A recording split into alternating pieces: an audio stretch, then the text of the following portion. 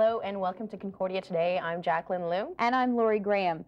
Stay tuned for an interview later on in the show with Jessica Brown from CFLI Radio and a report on why students choose Concordia. But first, the news. Students have fewer choices in the upcoming student government elections. Only five candidates are running for the paid position of president for Concordia Student Union. Last year, there were five presidential wannabes and three rounds of voting. CSU officials point to a lack of controversy in student, student politics this year as a reason for the decline in nominations. Others have said that the low turnout is due to a short nomination period and little advance notice to potential runners. This month, Concordia students will be voting on having their own Bill of Rights. It outlines a student's rights and responsibilities within the university. If passed, students will have a written document to refer to all the time. Jennifer Goldfinch has more.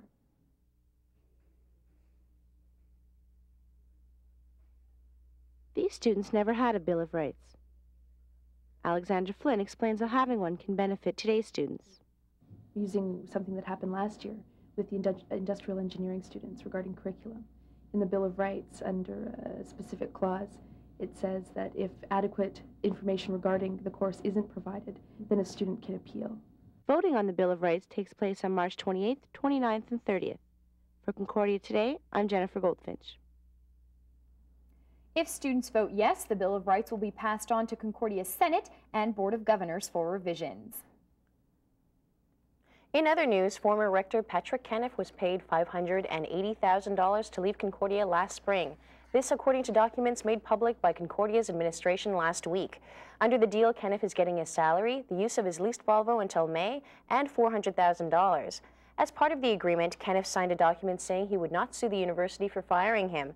In return, the university would not sue Kenniff for any of his actions as rector. University officials said that steps have been taken to ensure that overly hefty separation packages are not repeated with other top administrators. In Quebec alone, 1,400 pints of blood are needed per day, but the cloud of controversy surrounding the Red Cross is bleeding their organization dry. Rita Kotia has more.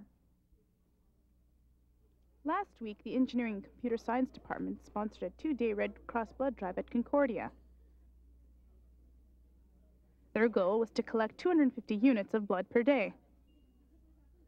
But by the end of the first day, they only gathered 99. Last year's mezzanine location attracted more passers-by.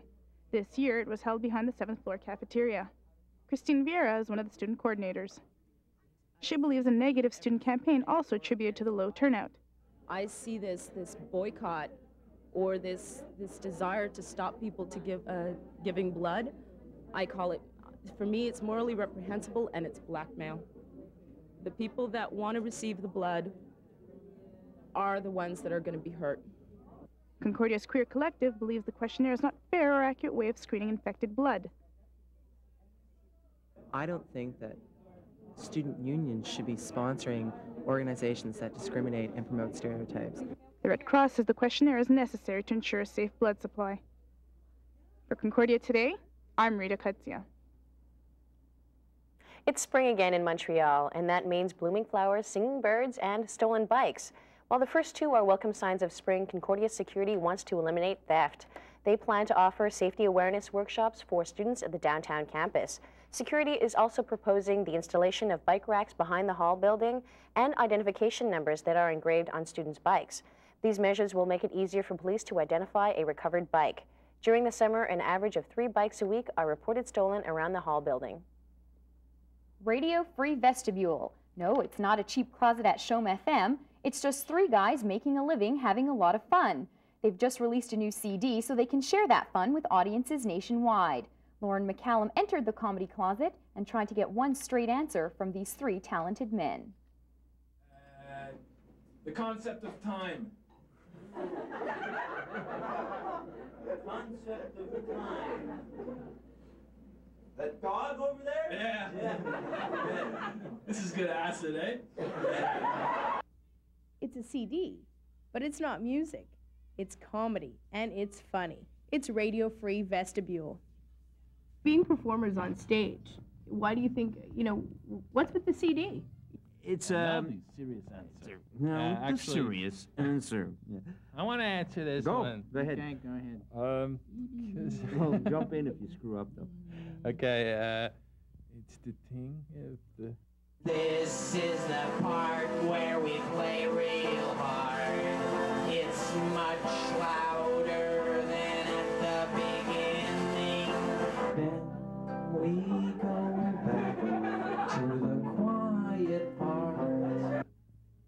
What made you That's come out with a CD? We thought we could put all our best radio material on a CD.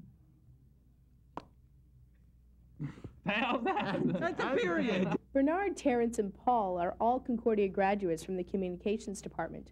They've been entertaining audiences now for seven years. Yes, Casper Hubbard does some of your favorite songs in French, like the Beatles' Hello Goodbye. Tout dit salut et je dis salut. Salut, salut. I would like very much for you to purchase me. I will bring you hours of enjoyment and funny laughs in your house. Oh, oops.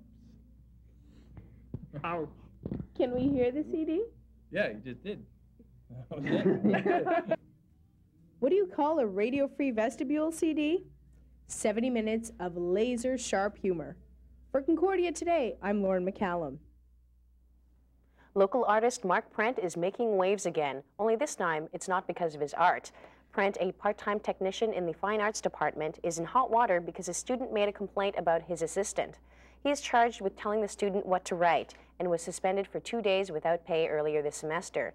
But Prent says he only told the student where to send his complaint. Concordia's Technicians Union has taken up his case and has since offered to restore his lost pay. But a letter of suspension will remain on his file. Unsatisfied, Prent is taking the university to arbitration. Young people living in downtown areas are often in need of direction or role models. Concordia's Inner City Youth Project is answering that need. Sponsored by the Department of Leisure Studies, the program brings together 65 student counselors with over 400 adolescents. They participate in everything from athletics to art classes. Katie Schmidt has this report. Concordia's Inner City Youth Program gives young people a chance to try new activities in a safe and structured environment. It also lets them look to student counselors as role models and friends. Concordia student Ruan Kent explains. At the same time, I think it has a greater impact on my life and how I look at, uh, you know, adolescence in general, uh, forming maybe a closer affinity with some of their problems instead of, you know, branding them or classifying them as, you know, just adolescent problems. The program is offered before and after school, and participants are bussed in from around the Montreal area. The activities are a boon to young people looking for direction, and they give Concordia students a chance to gain valuable job experience. their benefit is they're getting some experience, they're getting feedback and evaluation. And so when they go out into the job force, they can say, yes, I'm, you know, I have experience working with youth. The youth who participate in our programs, for a lot of them, the services we offer are the only formal or structural um, programs that they have. The Inner City Youth Program will run until the end of March. It'll start up again in September if funding is available. Recent cutbacks have put the program in jeopardy, and coordinators are currently searching for corporate support. For Concordia Today, I'm Katie Schmidt. Concordia alumni dug deep into their pockets, raising more than $100,000 at their seventh annual Phonathon last week. The money will go to scholarships, fellowships, and the improvement of lab facilities. Organizers said that fundraisers have become more common due to constant cuts to the university's budget. The Phonathon was a success, making $8,000 more than last year. For the 11th year in a row, Concordia was host to the Inter-University Bridge Building Competition. More than 39 teams from Canada and the United States participated in the bridge bashing event. Marilyn Guevremont has this report.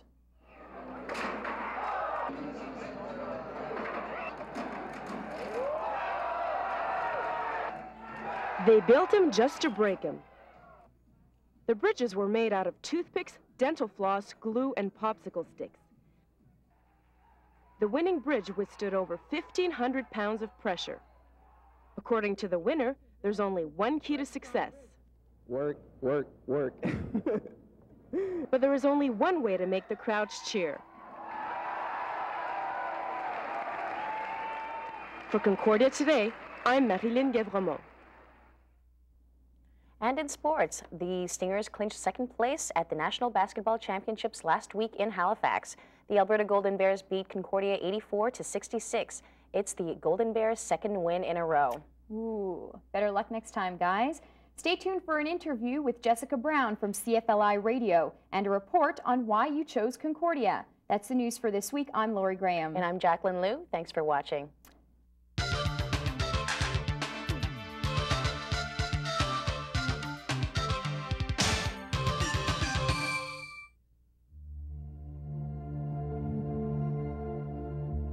Disease and stroke are Canada's number one killer.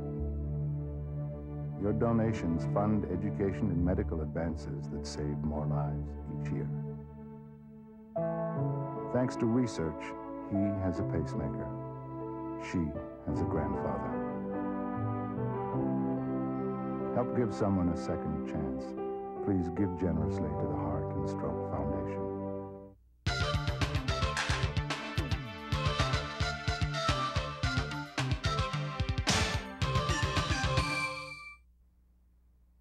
Concordia.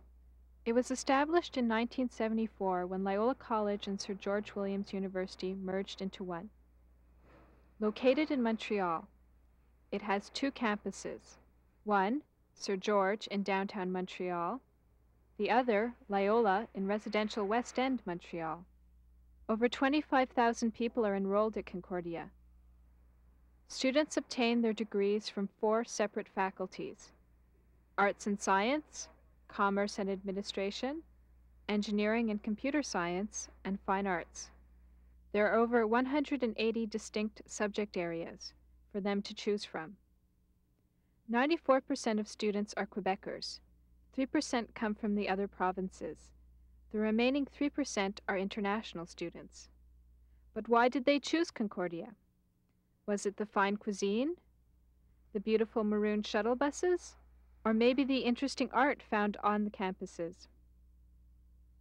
Why did you choose Concordia? I don't know. Why did I choose Concordia? Am I on? You Ah. It seems to me, I- I've not gone to any other universities, so for me it was first choice, it's close to location. And the program it offers, which I'm political science, is, um, how can I say, uh, perhaps less um, booked or packed with students. Like the courses are not with 500 students, but 50 students. So um, it's easier to communicate with the teachers and the student body. Well, I started uh, studying part-time in 89 and I was gearing towards the arts. I'm in the fine arts and I heard that it was uh, one of the better universities in the art faculty. I'm a mature student, so um, uh, and also they have a very good uh, fine arts department. I was interested in uh, sculpture, did a, um, education in sculpture, and I just went there really. Um, well, I chose Concordia because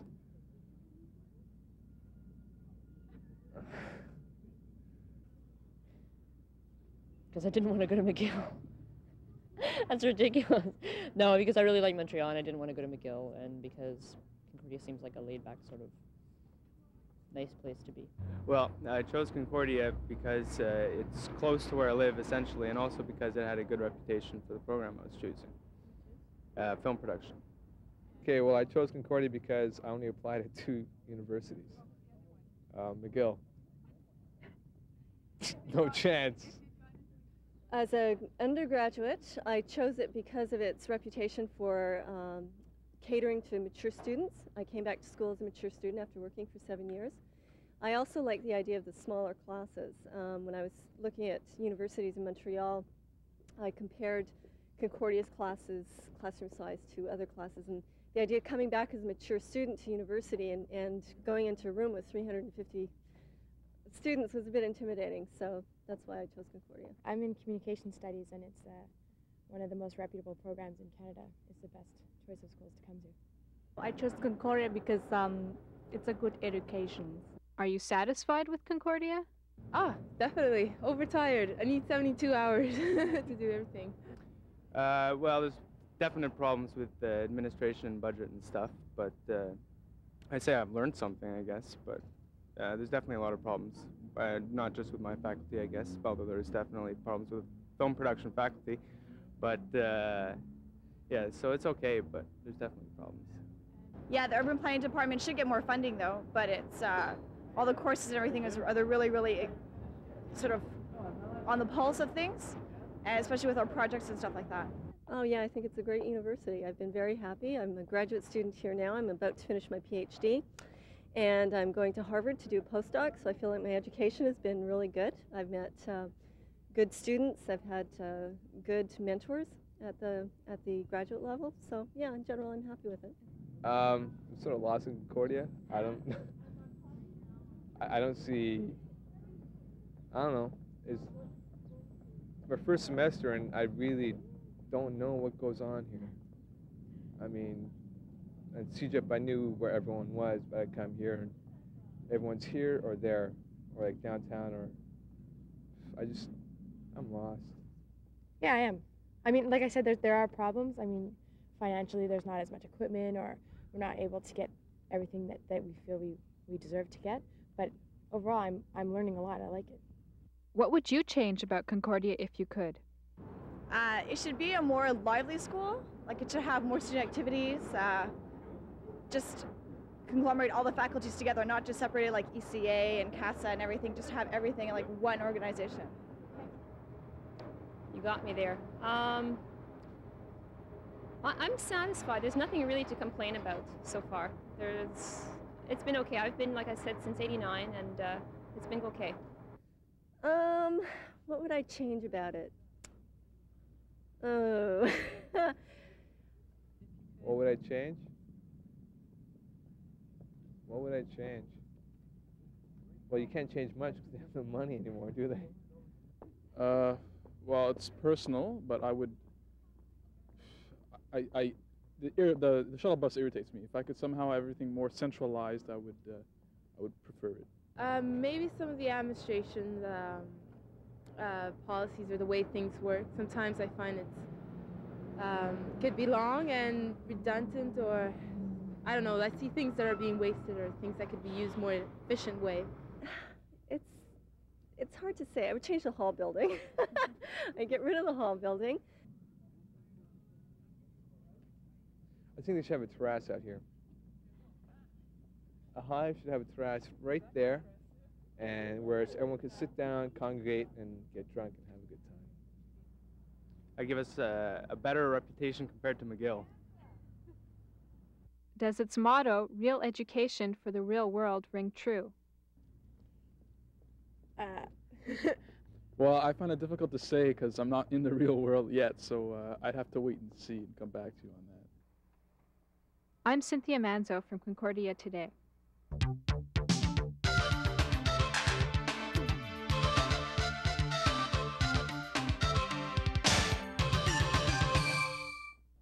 Hi, and welcome back to the program. I'm Annick Lucier, and joining me today is Jessica Brown, who is CFLI's station manager. Welcome, Jessica. Thanks for having me. Perhaps you could tell us just a bit what uh, CFLI is about.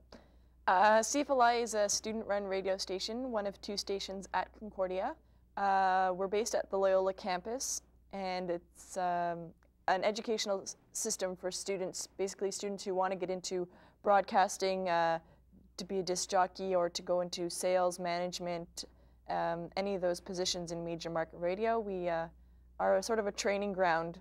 A lot of Montreal DJs have uh, started off at CFLI and have gone on, so it's it's a good experience for most students. And is the executive a paid staff? Nobody's paid, everybody's a volunteer. Most of the executives are communication students or people who are trying to get into communications. They have a lot of either experience in radio or, uh, you know, just more enthusiastic, have a lot of interest in helping out. Mm-hmm. But all of the students that work there, there's about 100 staff, they're all volunteers. And do you have peers that'll help the students out, such, such as members of the executive? Uh, sure, the executives are there just about every afternoon. Um, students, I mean, there's DJs coming in, there's basically two hour or three hour shifts. So the DJs change every three hours.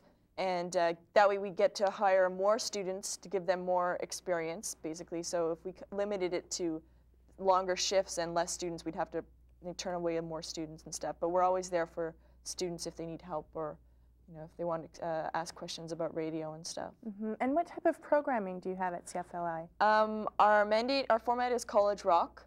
So basically, we're, I mean, we sort of fit in a different groove than other radio stations. It's not, I wouldn't call it classic rock, I wouldn't call it alternative or like top 40. We're sort of, I mean, a lot of re, uh, music companies send us music that before they send it to major market radio stations, they sort of try it out on the college stations. So we sort of, not an alternative sound at all. It's more of like a, a good college rock that you wouldn't hear on a lot of the radio stations because either they're, you know, they think it's a little too out there and stuff, but a lot of uh, listeners like it. hmm And do you have any news on the station? Yes, our news is broadcast twice a day, uh, noon and 3.30, and it's done by the Concordia Journalism Department under Bob McDevitt. And um, think we're on almost every day, four days a week, Monday to Thursday. And uh, yeah, they, they cover news for us. It's a, pretty much a separate department. They do their own thing, and we broadcast them twice a day live. Where, where can we hear you broadcasting? Uh, at the Loyola campus, you can hear us. Both residences have transmitters, so we have a lot of our listeners in residence. We have uh, the Bryan building is hooked up, as well as the campus center under the cafeteria and in the campus shop. And um, sometimes you can hear us downtown at in the Mez Cafe or in Reggie's because they have the option to hook us up. And the VA building, I believe, also has a transmitter, but I'm not positive on Mhm. that. Other than that, you can hook us up on, on cable. It's 101.9 Videotron or 88.5 CF cable. And it's basically you have to get a splitter to split your cable and you put one into your radio and one into your TV. You could do it with any radio station. It's like a TV, it gives you clear reception, or you can also pick up other stations. Okay, but we can't hear you just on regular FM airwaves. No, we don't have an FM license as of yet. Um, we're in the process of making an application for an FM license, which hopefully we'll be presenting to the CRTC in September. But it's a long and drawn out process and involves a lot of money and stuff and funding, Mhm. which we don't have at present. Right, and how do you plan on funding this? Well, um, I mean, because we're part of, still part of Concordia, uh, we're hoping that Concordia will give us some money or at least donate a space for us because, as you know, they're planning on taking down the Centennial Building, which is one of our, which is where our space is located right now. But they've guaranteed that they'll give us other space. So, um, other than that, right now we're in application for a tax number, which will allow us to have people donate tax uh, reductions. They can give us charitable donations Mhm. in return for uh, tax reduction. Okay, but this hasn't started yet. Uh, no, it's in the process. Right now, we're still looking for sponsors. It's like smaller businesses to run ads, and we'll put up their banners at our uh, at our um, concerts and at our movie premieres. Okay. Now, if students want to become involved, do they need special qualifications? No, that's I mean basically that's our mandate of our we get our FM license. We'll still be an educational station, which is Mhm. a new thing for the CRTC because I think there's only a few other stations across Canada that have an educational license. So basically, it will still be for students to train uh, as it is now. Like we have students from all different programs. You know, nobody specific. Um, anybody who's interested basically can get involved. I mean, even if you don't want to do on-air work, uh, we have you know several different positions that are always open, and we're always looking for volunteers to help us out for any of our, our activities and stuff. Apart from on air, what can people do though? Um, well, aside from the management positions, which, I mean, if you have extra time, we put in about a good 15, 20 hours a week in management, uh, which is a great experience because you, I mean, as station manager, I am like in charge of the goings on within the station. So that would mean like all the staff members assuring that all the other executives are doing their positions properly, uh, that we're getting music, that, you know, everything is running smoothly, we're de- dealing with funds. Um, you could also there's sales. We're always looking for people to do. Well, we're calling it sponsorship now because Mhm. we're trying to like make a different angle on it. Um, there's a music department which handles like all of the music which we get in. We get in about I would say 50 to 100 CDs, you know, every two weeks. So there's like constant changeover of music, um, programming, logs have to be done. There's just tons of stuff needing to be done. If you know anything about equipment, you know, we always need people to help out fixing equipment and stuff. Okay, and where can people reach you? Um, well, we're at the Centennial Building, which is, if you know where Mr. Hot Dog is, most people who've ever been to Loyola campus know Mr. Hot Dog. It's about two buildings east of Mr. Hot Dog. So, like, you get off the shuttle bus, you walk toward Mr. Hot Dog, and you'll see we have a big white sign outside the CFLI Radio Concordia. It's in the same building as the Concordian newspaper. And um, just come in. We're open pretty much 24 hours a day. Um, sometimes we're not open overnight, but for the most part, and you can come in and fill in an application. Great. Well, thanks a lot, Jessica. No problem. And that's all the time we have for today, but join us next week. I'm Annick Lucier.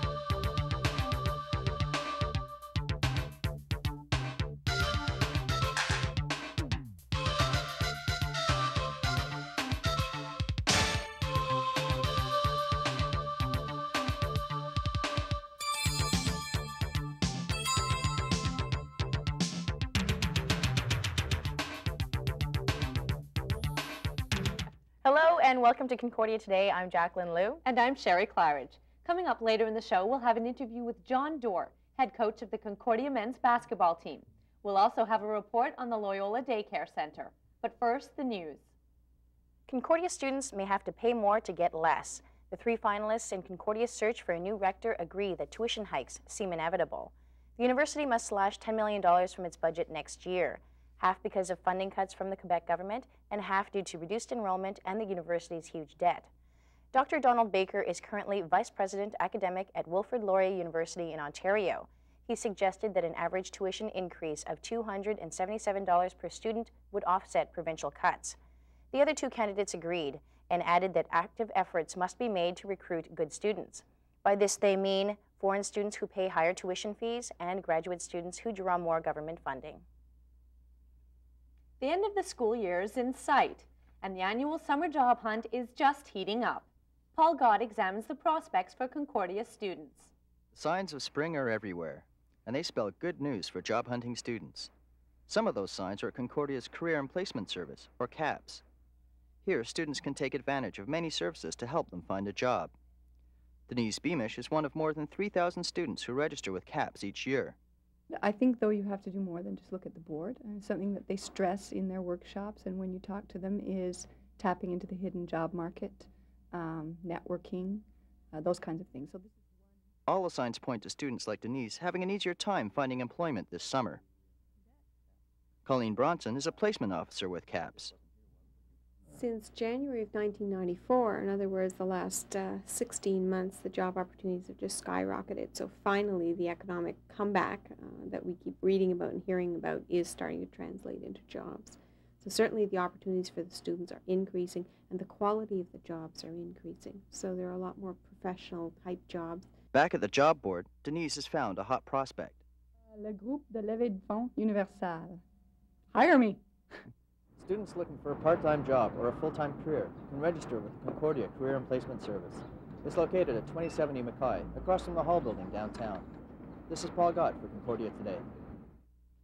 The Career and Placement Service will be hosting a second Career Day this year at Concordia.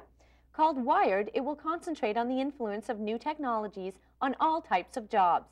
It will be held in the Hall Building mezzanine on April 5th. The Concordia Student Union election campaign is underway. Up, for grabs are the position of president and 30 seats on the Council of Representatives. There are five candidates running for president. They are Jonathan Carruthers, Raymond Hall, Lana Grimes, Lee Pemberton, and Christos Kardiogiannis. The election takes place from March 28th through the 30th. The winning candidates take office June 1st. But student government isn't the only thing being voted on. They're holding a referendum to decide whether or not to become part of the Canadian Federation of Students. The CFS is an alliance of 65 student associations that lobbies federal and provincial governments. Those in the faculties of Fine Arts and Arts and Science are eligible to vote in the referendum because they are members of Concordia's Students' Union. If the referendum passes, students will pay an additional $3 fee per semester. Concordia students will also be voting to approve their own Bill of Rights. The bill outlines fundamental rights and freedoms. Some include academic rights, freedom from discrimination and unwanted sexual practices, and freedom of expression, opinion, and peaceful assembly. A group of leisure studies students wanted to mix charity with coursework. As part of a class requirement, they produced a fashion show and donated the entire proceeds to the Children's Wish Foundation. Thomas Mall was there. It's an opportunity to see what the fashionable will be wearing next season. During this benefit show, the leisure studies students wanted to give us a peek at some of the fun and some of the sun coming up this summer. Modeling and production for this event was done by the students as a final project for a class at Concordia. The name of the fashion show tonight? To fulfill a dream. That's what the leisure studies students have done, raising $1,200 to bring dreams to kids. For Concordia Today, I'm Thomas Mall. Some Concordia Fine Arts students found a way to show their work outside the university in a real gallery for next to nothing. Adriana Brasileiro explains.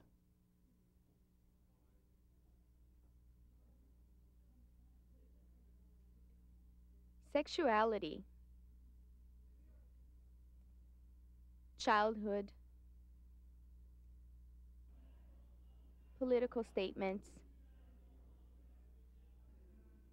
Multiculturalism. There was a bit of everything at the art opening organized by 18 fine arts students in a graduating drawing class. For only $14 each, the students rented the space for two weeks at ArtCore, a new alternative gallery in town. The show gives students a chance to be recognized in the real art scene. For Concordia Today, this is Adriana Brasileiro. ArtCore is located at 265 St. Antoine West. For more information, call 277-7599. And in other news, it doesn't pay to get sick at Concordia. Monique Deschamps lost her job as a technician in the ceramics, fibers, and sculpture department after taking a leave of absence due to illness in the fall semester. She had worked for the university for eight years and had planned on returning to her job in January. But when 1995 rolled around, the university informed her that the technician that had replaced her for four months was there to stay. The university has argued that Deschamps is a seasonal employee and works under a renewable contract. Therefore, there was no guarantee that she would get her job back.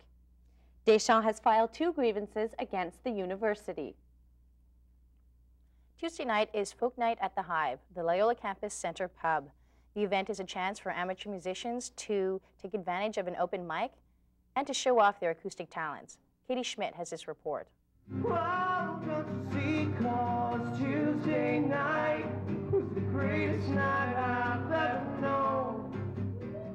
It's Tuesday night, and that means a chance for those bloody nodules to get up and perform. But just because they're up on stage doesn't mean they're confident.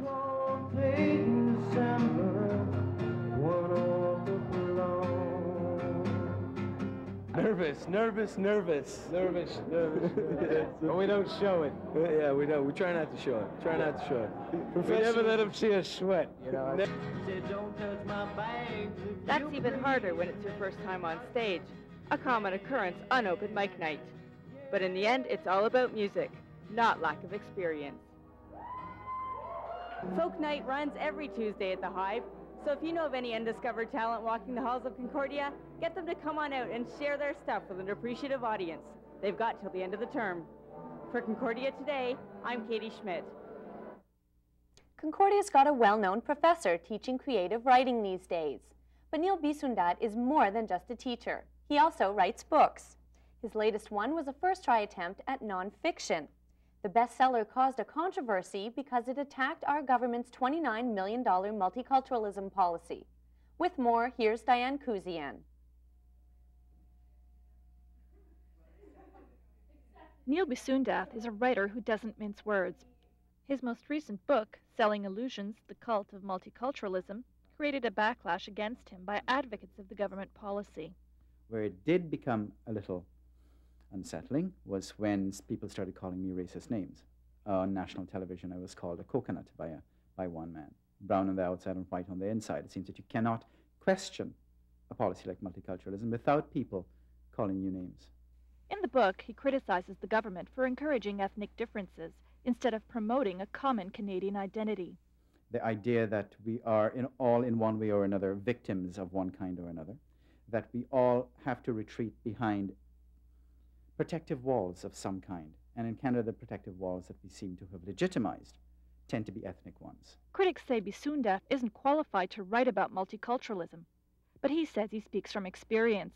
It does not help us growing up and living in this country and creating lives in this country to see other Canadians who may be different from us in color or religion or language as simply other Canadians, but it helps us to see each other as hyphenated Canadians. And I have real problems with the hyphenation because I'm not sure what it means. I've been called um, a Trinidadian uh, Canadian, a West Indian Canadian.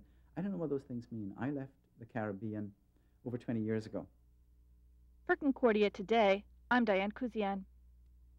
That's the news for this week. Stay tuned for an interview with John Dore, head coach for men's basketball, and a report on the Loyola Campus Daycare Center. For Concordia Today, I'm Jacqueline Liu. And I'm Sherry Claridge. Thanks for watching.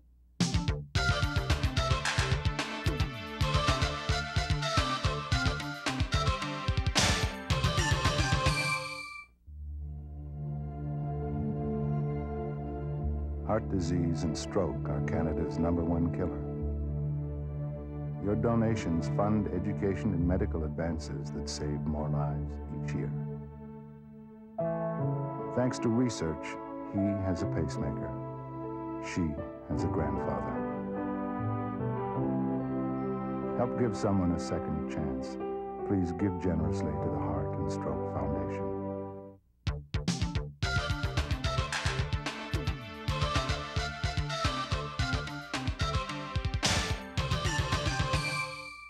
I'm presently at Loyola's Daycare Center, La Garderie Les Petits Profs. This daycare provides um, care for small children while their parents are studying or working at Concordia University. This daycare center is located on Belmore Street, right next to Vanier Library. There are 48 children between the ages of 3 months and 5 years. They are all separated in groups of 5 with children of their age.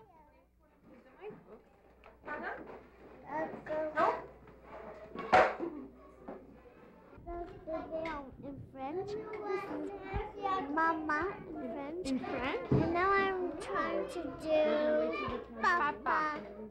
You think you're going to be able to do it? Yeah. Yes? Do you like to play with your friends here? Yeah.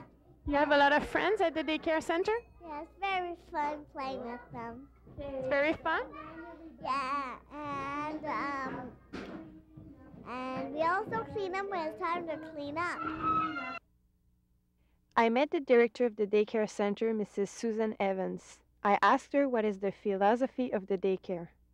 I guess our hope is that we provide a home like atmosphere uh, for the children. We want it to be a very family oriented daycare center um, that provides a home away from home, if you will, for working parents and studying parents of the university. And uh, basically, that we focus in on all aspects of the child's development, the cognitive, social, emotional, and physical needs of the young child. That's our mandate. A full time cook works for the daycare center. She prepares lunch during the day as well as snacks in the morning and in the afternoon. I cook, I prepare the lunches for the children, I make the menus, I shop for them, I see what is better for them to eat, and I have to consider younger children that they are from six months they start eating to five years old. And I have to check also allergies. We have children with allergies, which is sometimes why um, you have to think very carefully your menu. We have children that are allergic to nuts, to citrus, to lactose. They have lactose intolerance. So we have to be very careful with our menus. What about the teachers? Are they qualified? Yes, actually, all, all of the educators here are qualified. They either have an attestation, a DEC, or a university degree in early childhood. And um, I mean, definitely for the baby room, it's a different type of skills that, that you're looking for in a baby room educator. Very, very nurturing um, character. Uh, and there's a lot of staffing in the infant room. We have two teachers rather than one teacher in that group. We do activities that promote cognitive, physical, creative development and outdoor play, as well as activities inside, such as art and uh, drama and uh, cooking activities and stuff like that. They try to balance structured activities with free choice activities and active play with quiet play. Yeah, say cuckoo. That's what all he says. Can you say mama? Mama. Yes. Can you say dada? Mama. Parents are very happy with the daycare. I think it would be a real loss to the university if uh, if the daycares were closed. It's uh, it's a tremendous service. Really, it, workplace daycare is uh, is the ideal for the parent, because the parent, particularly of very young children, feel so much safer and so much more connected with their child if their child is physically close to them. Do you think it's essential to have a daycare center for a, a university? Yeah, I really do. I think it provides, because we have a lot of parents who are students, and I think it gives them the opportunity to get their education, which is really important today. All the parents are connected with the university. 50% are non-academic staff, 25% students, 25% faculty. And what about the cost? For this year, uh, it's $22 a day to have your child in our infant room and $21 a day in all of the other rooms. Uh, parents who are below a certain family income can apply for government subsidy. And uh, for students, particularly, this is over and above the loans and bursaries that they get. This is an, an added um, amount of money just for their child in daycare. Hold on to the bed. You're going downstairs? What are you going to do downstairs? Um, get ready to go skating. You're going skating? Outside? You like to skate? You like to skate? And my mommy's coming with. My daddy's coming. No, he's not. Yes, he's not coming, baby. Are you affiliated with the daycare center downtown? Uh, we're not really affiliated. We're both government subsidized nonprofit corporations that run completely independently of each other. But there is uh, enough business for both of us that we're certainly not in competition. So we have we have a relationship because the director of that daycare and I have a relationship. But legally, there's really no connection.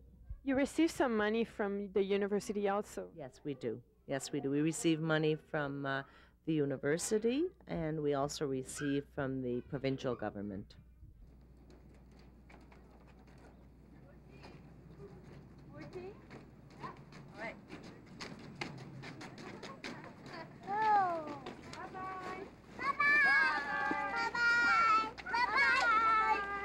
From Loyola's Daycare Center,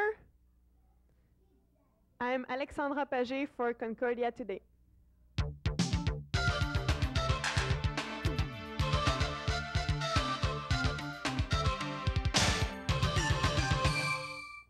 Welcome back to the show. I'm Sherry Claridge.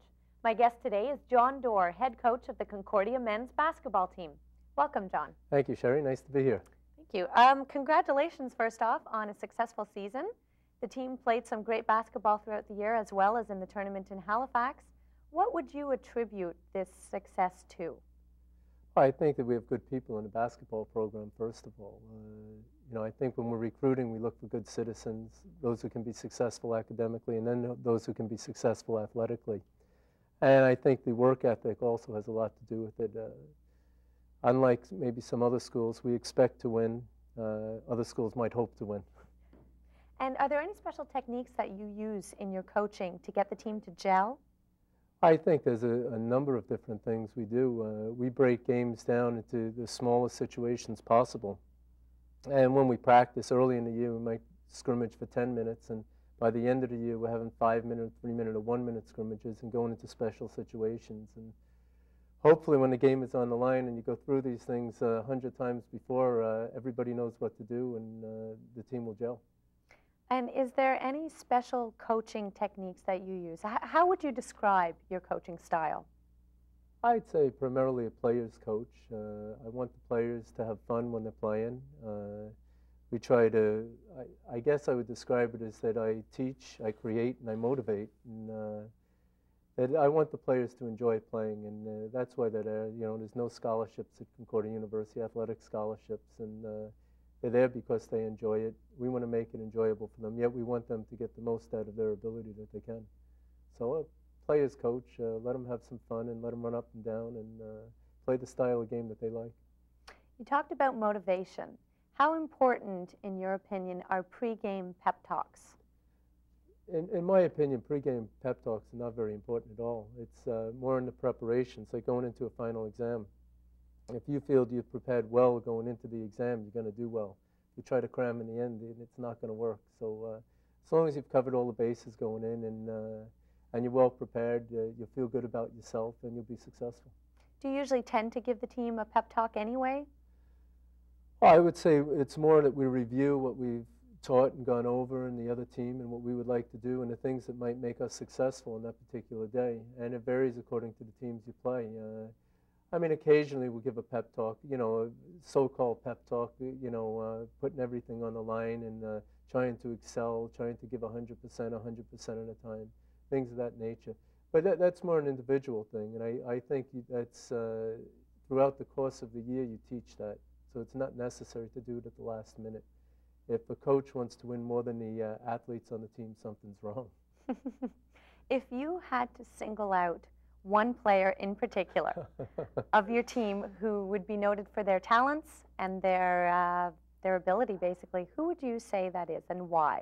Well, that's a very tough question. Tough question. Uh, we had four guys that averaged between 14 and 16.7 points a game this year. Uh, fifth player was uh, Justin Pedvaiskis, who's from British Columbia, and he was the guy that most unselfish play maybe we've ever had at Concordia. So he's the guy that gave him the ball. Uh, it's tough, but I guess if we did have to single out one, it would be Emerson Thomas. He's in his fifth year. He was honorable mention All Canadian in his uh, third and fourth years, and his second team All Canadian this year. Uh, Emerson was our, our leader. Our, he led through example, uh, inspiration, uh, work ethic. Uh, sort of just did did everything. He's also in graduate school. He's a good student. He's uh, He's up for Male Athlete, Athlete of the Year in Canada. Uh, next week in uh, Calgary, there'll be a dinner, and he's one of six finalists. I guess he's he's the one person that we could single out as sort of epitomizing the basketball program at Concordia, and not just because of what he's done on the court, what he's done in, in academically and mm -hmm. the mm-hmm. community work that he's done over the years. And uh, we, we do a lot of clinics for high school kids. You have kids in practice all the time, and uh, Emerson is always there to speak to them, and uh, he's the one person.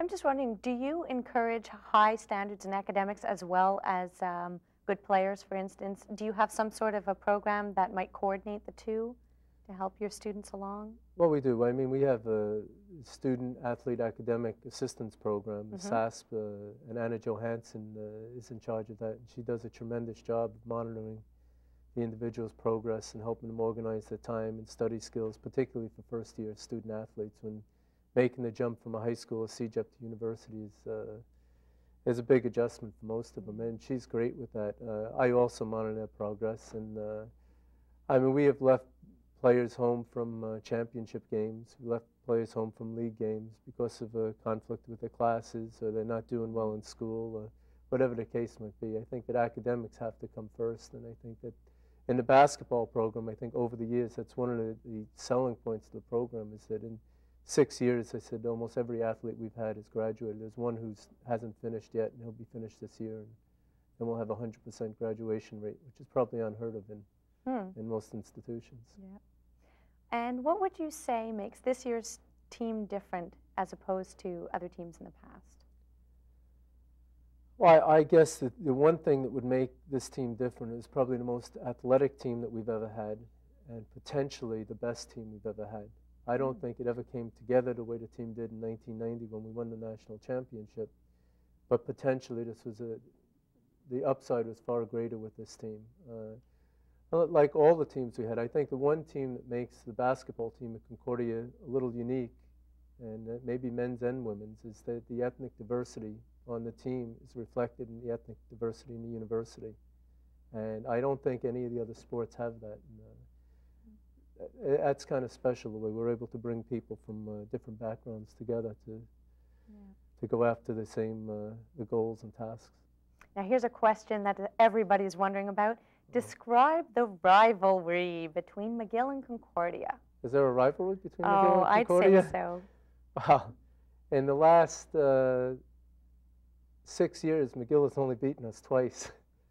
So I guess that uh, because they're across town and the the guys know each other and play against each other all summer long as well as uh, during the year.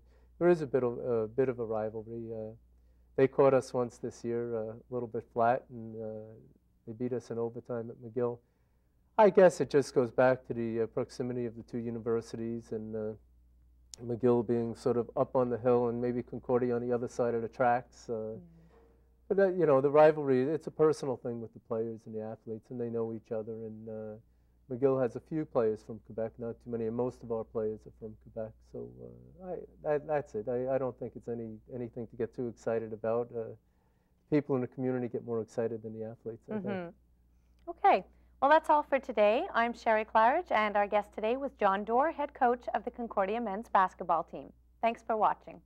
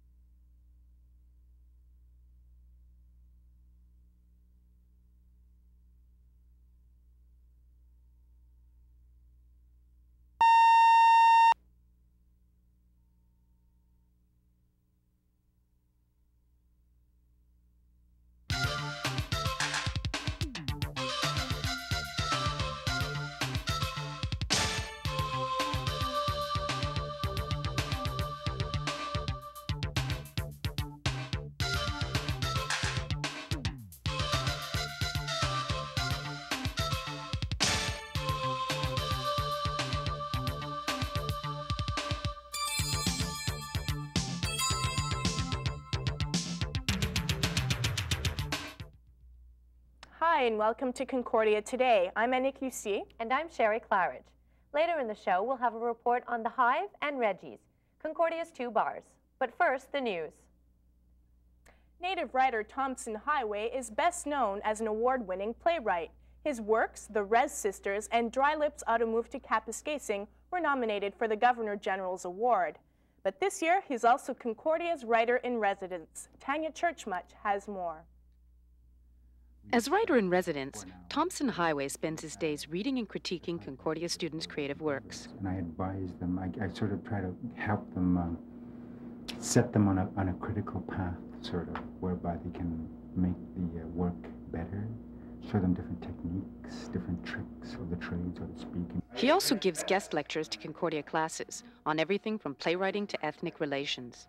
But most importantly, Tomson Highway wants students to understand the importance of writing it's just very um, enriching to be able to articulate clearly, to, you know, to be articulate, to be. Uh, it's you know there are certain muscles of, of, the, of your mind, of your mental, your intellectual being that you sharpen, that you develop. You know, like just like exercising your body. You know. Concordia's theater department will be presenting Tomson Highway's play The Rez Sisters from March 31st until April 9th.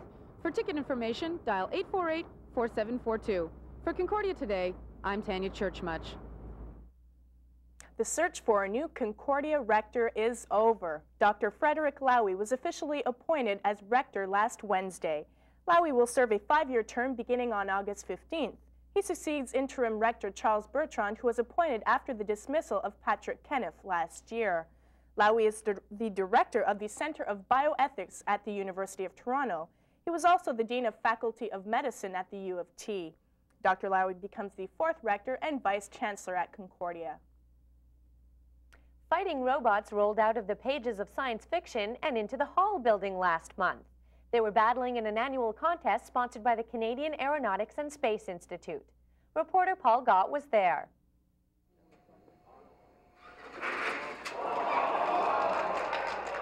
The chase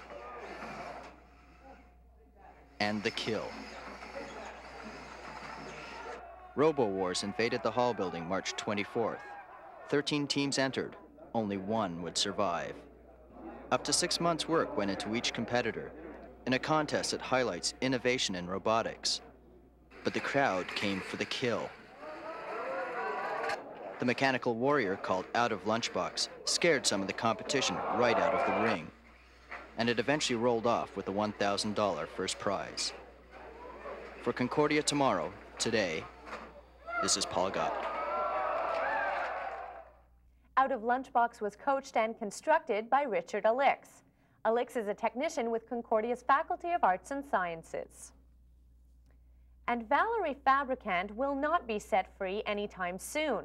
Fabrikant is the former engineering professor who killed four of his colleagues in 1993.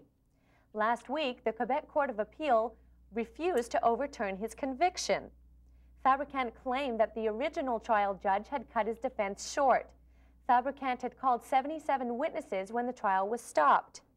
He may appeal the ruling to the Quebec to the Fabrikant may appeal the ruling to the Supreme Court. Concordia student Howard Zhang has lived in Canada for almost four years after immigrating from China. Since then, he has translated three children's books illustrated by his father one of which called A Little Tiger has won a national award. Zhang spoke to Katie Schmidt about the books. The appearances of Little Tiger were much talked about in the village. It was rare to see a wild tiger then. Why did it not hurt me? Why did it keep coming back? The elders said it was a good omen. Howard Zhang and his father have created three children's books.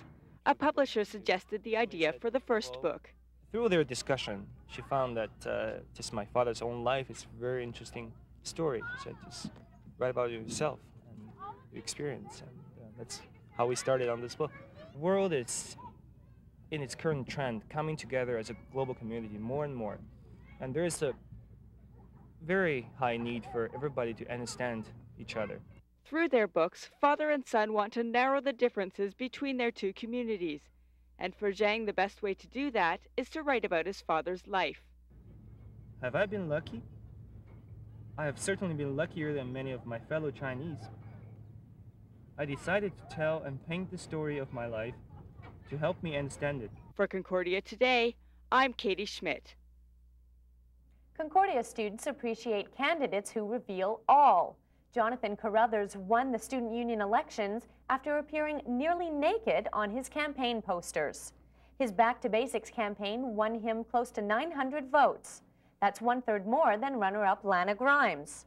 There was no voter apathy this year either. Voter turnout was triple the amount of last year, turning out close to 3,000 students.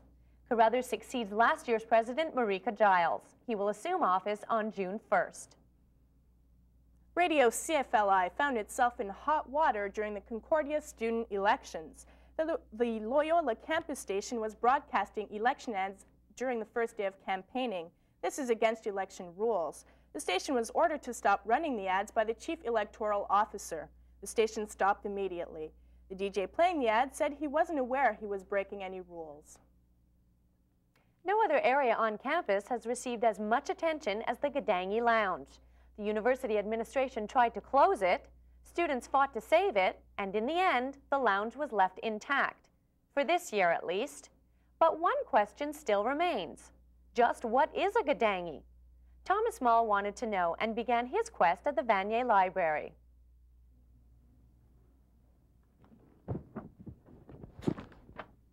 see, we have a grindstaff, Gringhollis, Guadalupe, no Guadagni. So we came down to the Guadagni Lounge to find out what's a Guadagni. This is the Guadagni Lounge, home of cheap coffee and card-playing students. Surely the regulars here will know who or what a Guadagni is. So right now you're in the Guadagni Lounge. I want to know what a Guadagni is. A Guadagni? A Guadagni is three monkeys playing pool in a big seminar. It's a pasta dish who couldn't make it on an Italian menu. Actually, it was it was used. It's a pirate boat that was used in the late uh, 1800s. Uh, Guadagni is uh, like a mythical animal, like a unicorn. I'd like you to use the word Guadagni in a sentence. Mm, help me out, Dina. Uh, mm, I don't know. What do you think a Guadagni is? Well, uh, Guadagni is a purple turtle that can be easily toilet trained. Our answer came after a brief search at the archives. Guadagni was actually a first-generation Italian who came to Montreal to study engineering at McGill. In 1942, he became Loyola's first engineering professor, and the only one until 1959. It was common practice during the 60s to name buildings after members of the Concordia family. The Drummond building here was named after a land surveyor turned Jesuit priest turned teacher. For Concordia Today, I'm Thomas Mall. Five Concordia students found a way to combine classwork with charity. They organized a telemark skiathon to raise money for the Gary Taylor Center for Handicapped Children. Organizing an event was a requirement for their fitness and sport management class. Jeff Blond was there. More than 20 people took advantage of the great weather and went up to Mount Christie to telemark for a good cause. For those who don't know, telemarking is downhill skiing on longer cross-country skis. Catherine Kay and Neil Burnham were two of the organizers of the event. And, uh, what we had to do is we had to organize uh, an event and uh, turn it into a charity event. And so here we are, and we're having a great time. But students weren't the only ones having fun. Our four-legged friends were welcome too. And after all the skiing and eating was done, almost $200 was raised for charity. For Concordia Today, I'm Jeff Blond. Concordia is in a budget crisis, but there are no plans to cut administrative salaries. A provisional budget is being prepared for the May 4th meeting of University Senate. But salary cuts will be avoided, according to Acting Rector Charles Bertrand. Concordia's salary policy came under media scrutiny recently. This after it was revealed that ex-rector Patrick Kenniff was given over a half million dollars in severance pay. Concordia's budget is expected to shrink by one-third over the next two years.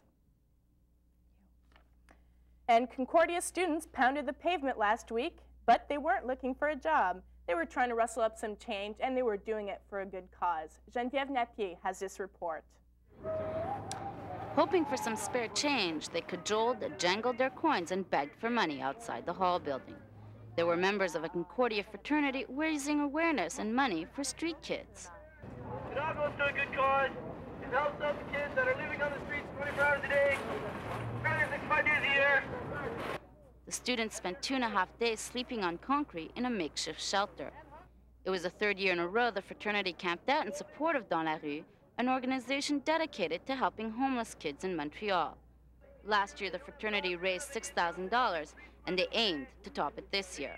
For Concordia Today, I'm Geneviève Napier. If you'd like to make a donation to Dans la Rue, they can be reached at 284-5480. Concordia is celebrating a first this year.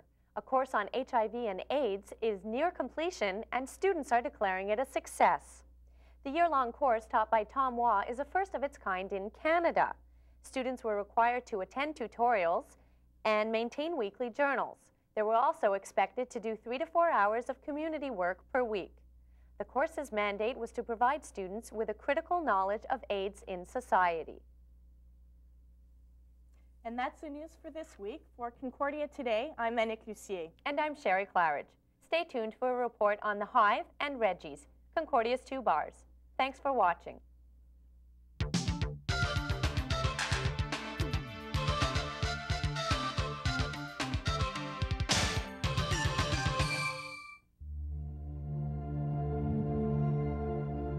Heart disease and stroke are Canada's number one killer.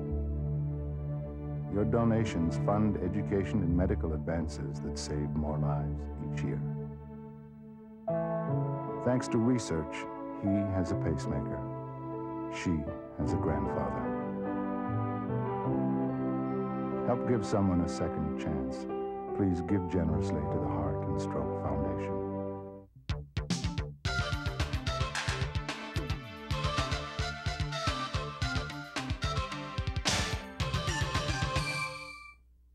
almost the end of the semester. Exams are approaching and stress is at its peak. But there are places on campus for students to go and relax. The Hive at Loyola and Reggie's downtown. So tell me how often you come here. Well, this would be my first official time, my first beer. Um, now that a couple of weeks left of school, you find yourself really busy, really stressed out? I was I'm in, mu- in the music department, so I was stressed out about the live stuff, you know, which is pretty well going to be taken care of tonight. So after tonight, you know, I'll feel uh, much relief, I would say. So is this beer uh, helping you to relax a little bit? Yeah, yeah, because I'm a little tense, so I'm just uh, cooling myself down a little bit. Actually, I've had to go to health services a few times just because I've been so stressed out, like for uh, for stress evaluations and stuff like that. Does it help you to relax to come here to the Hive and do work? Oh, definitely. I think the music and just the general atmosphere really helps a lot. I can concentrate better usually. Um, do you ever drink between classes or have a beer help you relax? Oh, sure, to relax, especially for those long, extremely long classes. Yeah, no problem. Oh, yeah? Yeah. Do you ever go to class drunk? No, no, not this semester. Not this semester? No. Last semester, a few times, just because I've been with uh, a lot of friends, and they just, oh, don't go to class, and I, I have to go, so I've been drunk just a few times. Hurry, Mo, hurry. I've only got five minutes till the music store closes. Well, why don't you go in first? Hey, do I tell you how to do your job?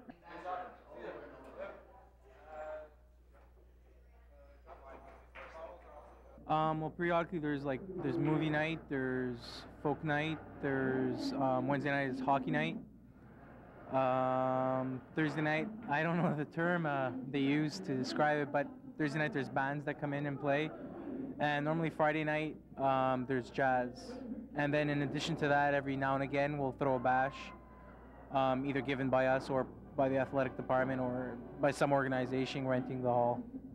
Why do universities have bars on campus? I think it's basically to uh, fulfill a need. Um, I think I think a lot of students need some lounge space, some space where they can just go hang out, have a beer, have a drink, a coffee, maybe a smoke, and just relax and study. And a lot of groups come together here, and um, and they do a lot of their work together here. I think it's just to, give that atmosphere to remove the academic aspect and put a more social aspect within the university community.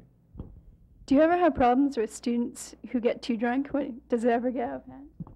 During regular business hours, no. Sometimes at certain parties, uh, some people drink a bit too much, but we do have uh, a student intervention program that all of bartenders are required to take so that we can avoid certain, those instances. Uh, in the past few years, it's gone down considerably, and we have a good security uh, team on for every party where those problems could arise. And uh, so far, we haven't had any serious problems with that. If something does happen, does the bar take responsibility for it? Yeah, we have a, a program in place where we do pay for taxis for people to, to be taken home, and uh, if they're not in any shape to, to get home on their own. And uh, so far, we've we've I think done our part.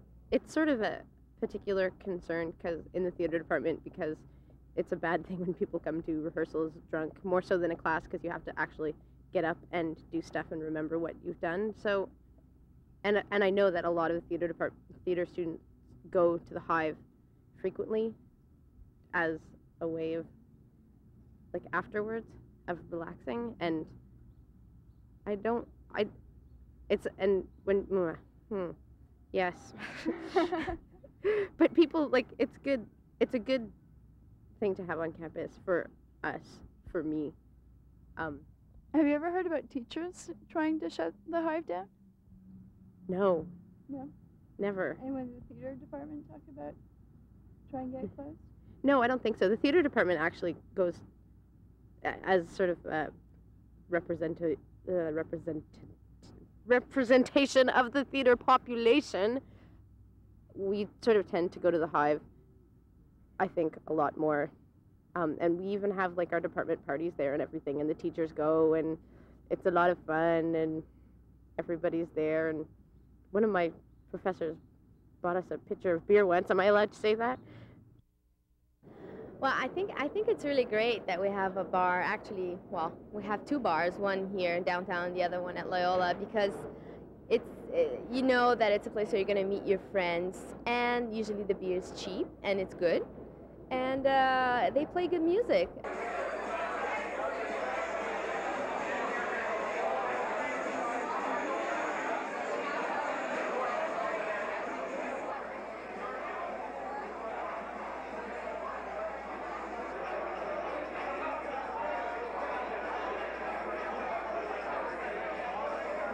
Since we opened, from September of the, we opened in February. It took us four months to get our feet wet to find out what was going on, okay, and uh, and we broke even.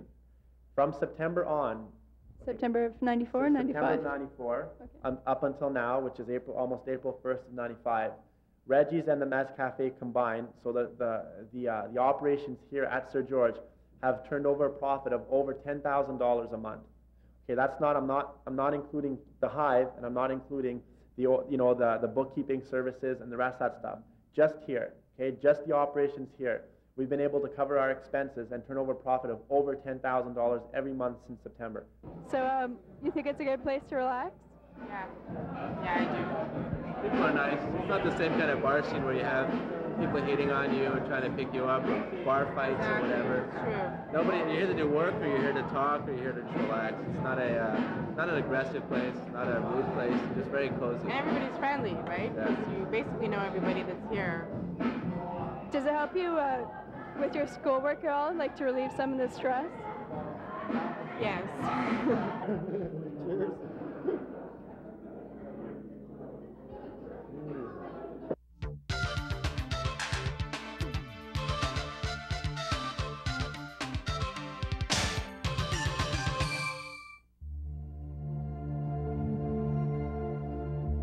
disease and stroke are Canada's number one killer.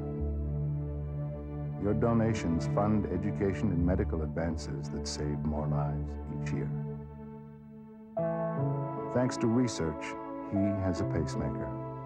She has a grandfather. Help give someone a second chance. Please give generously to the Heart and Stroke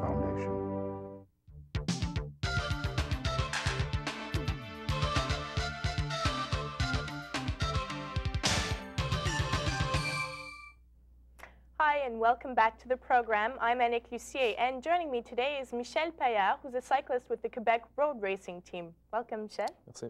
Um, so, being a member of the road racing team, are- you're also a member of the Quebec Federation, the Quebec Cycling Federation, rather? Yes, I am. Okay. Now, because you're part of the road racing team, does that mean that there are other categories? Uh, yeah, there are three or two major categories and a third, a smaller one. We have road racing and track racing, which is considered a category. And then you have uh, mountain biking, which is sort of upcoming and really popular, which is about everybody now. And uh, BMX, which is a smaller contingency, I guess. Okay, but you're strictly training within the road racing. Yeah, road and track racing. Okay, now what does that training consist of? Especially like in the wintertime, we know that you can't really train outside. Um, well, the bulk of my training I do in as cross-country skiing.